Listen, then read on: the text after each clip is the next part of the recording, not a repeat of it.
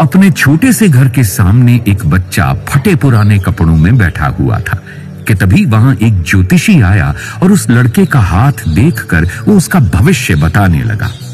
ज्योतिषी ने कहा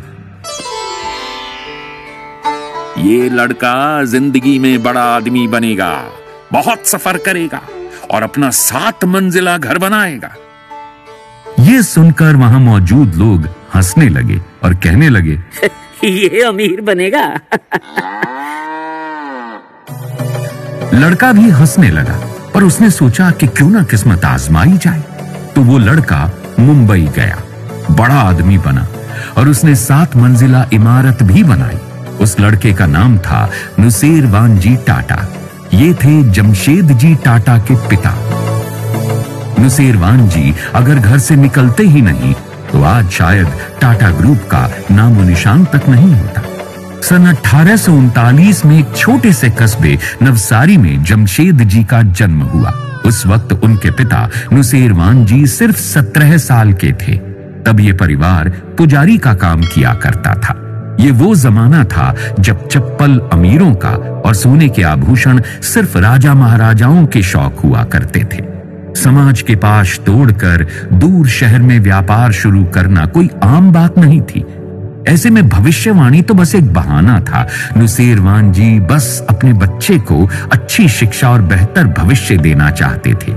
इसीलिए वो केवल 20 साल की उम्र में पत्नी जीवन बाई और बेटे जमशेद जी को लेकर मुंबई चले आए।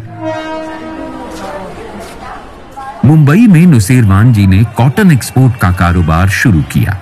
इससे जो भी मुनाफा होता था, वो जमशेद जी की अच्छी पढ़ाई और घर पर वो खर्च कर दिया करते थे। जमशेद जी ने अंग्रेज़ी में भी शिक्षा ली। हालाँकि उनके पिता फ़ीस भर सकते थे, पर अक्सर अच्छे गुणों के चलते जमशेद जी की फ़ीस माफ़ हो जाती। जमशेद जी ने एल्फिस्टन कॉलेज में प्रवेश लिया और अपनी पढ़ाई के दौरान ही हीराबाई दबू से उन्होंने विवाह कर लिया। तब बाल विवाह आम बात थी। यूँ कहिए सभी लोग बाल विवाह ही करते थे। जमशेद जी के पिता की तो केवल पाँच साल की उम्र में शादी हुई थी। पढ़ाई पूरी करने के बाद जमशेद जी पिता के व्यापार में हाथ बटाने लगे। पर वो उस व्यापार को आगे बढ़ाना चाहते थे। शिक्षा के बलबूते पर वो कुछ बड़ा करना चाहते थे। और ये बात एक दिन उन्होंने अपने पिता को बताई।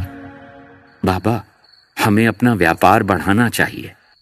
हाँ बेटा कुछ योजनाएँ भी हैं मेरी। पर क्या तुम करोगे? हाँ बाबा आप एक मौका तो दीजिए। मैं सोच रहा था तुम हांगकांग चले जाओ और वहाँ व्यापार बढ़ाओ। जी बाबा मैं आपको बिल्कुल निराश नहीं करूँगा। और फिर अठारह में निकल पड़ा 20 साल का नौजवान हांगकांग। बिल्कुल अपने पिता की तरह। पत्नी हीराबाई और बेटे दोराब जी को लेकर एक नए कल की खोज में वहाँ उन्होंने जल्द ही अपनी एक कंपनी शुरू की जो चीन में रुई और अफीम निर्यात करती और उसके बदले भारत में चाय, दालचीनी, रेशम, कपड़े, चीनी और सोना आयात किया जाता। अफीम का नाम सुनकर आप चौंकिए मत। सिविल वॉर का दौर था। युद्ध में घायल सैनिकों को दर्द से निजात दिलाकर फिर से लड़ने के लिए तैयार करने में उन्हें अफीम खिलाई जाती थी। तब ये लीगल भी था और इसकी मांग भी थी।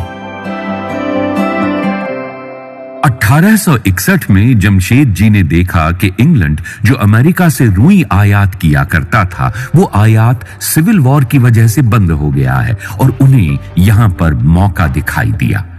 जमशेद जी ने भारत से इंग्लैंड दुगने भाव से रुई निर्यात करना शुरू की और व्यापार देखते ही देखते इतना बढ़ने लगा कि 1864 में वो कारोबार के लिए लंदन जाकर सेटल हो गए।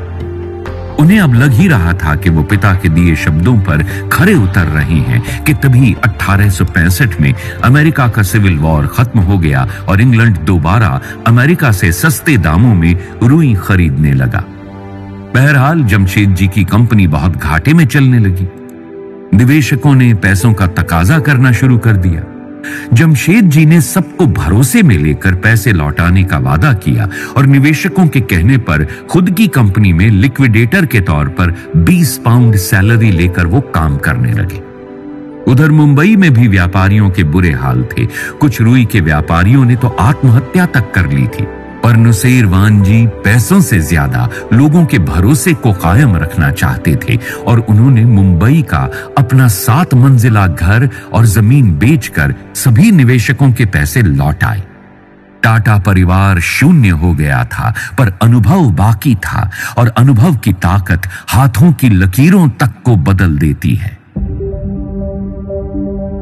जमशेद जी नाम की चिंगारी जल्द ही ज्वाला बनने वाली थी। वो अब व्यापार नहीं, बल्कि बिज़नेस करने वाले थे।